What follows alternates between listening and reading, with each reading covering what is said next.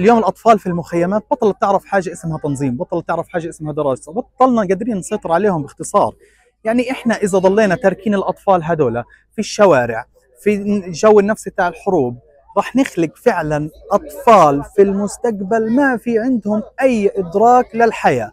العلم أساس كل حاجة. رسالة حية على عزيمتنا التي لا تكسر ورفض لسياسة التجهيل التي اتبعها الاحتلال ضد أطفالنا وأننا قادرون على تحويل الألم إلى أمل واليأس إلى طموح. رجعنا لأيام المدرسة. مبسوط. درسنا ورجعنا زي, زي أيام زمان. لما نخلص الحضنة نرجع مدرسة ثانية عن جد كثير كثير انبسطنا لما جت الخيمة التعليمية هذه والتع- بداية التعليم ورجوع الدراسة.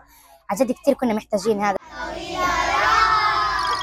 يلا مع بعض نفتح تمنا لفوق. را فتحة طويلة را. را فتحة طويلة. يلا.